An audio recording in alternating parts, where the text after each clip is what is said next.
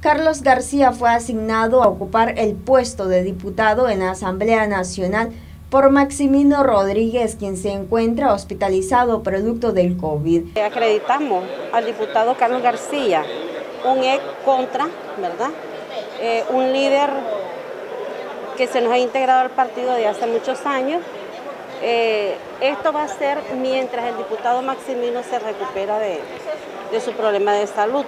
La suplente del diputado Maximino es la diputada Marta Macoy, pero acordémonos que ella fue desafiliada del partido y a la vez enfrenta un proceso de, destitución.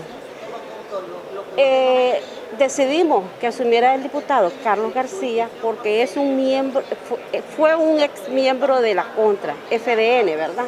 Entonces, mientras el diputado Maximino se recupera, hemos repuesto ese curul por un ex contra.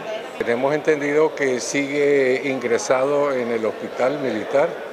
Eh, no se le ha visto mucho cambio, sin embargo, esperemos en Dios de que se recupere nuestro correligionario y amigo Maximino Rodríguez. Eh, tengo entendido que la semana pasada estaba ya entubado y que nosotros como bancada pues le pedimos a Dios que se recupere lo más pronto posible. García, quien era diputado suplente de Osuna, afirma que su incorporación se da dentro del marco de la ley orgánica de la Asamblea Nacional. A la disposición de lo que diga mi partido, claro que sí. Eh, quiero decirles también, tal vez agregarle un poco, de que mi incorporación se da dentro del marco de lo que dice la ley orgánica de la Asamblea. O sea, está contemplada la posibilidad que un suplente asuma.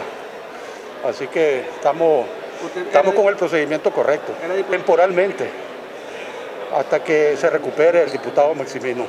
Noticias 12 Darlene Telles.